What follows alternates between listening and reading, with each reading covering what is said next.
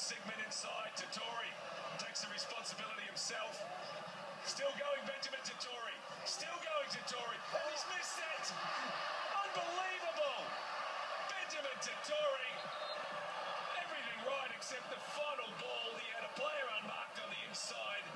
And Jeremy Brockie, he's getting absolute daggers from Brockie. Who could have had a hat trick.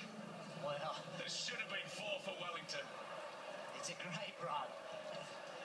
Why not? You've got a chance. You're up 3 0. Chance to just show to the coach that, yeah, I can score goals too. Oops. No, I can't. Just the wrong option there. But did 99% so well. Final icing on the cake.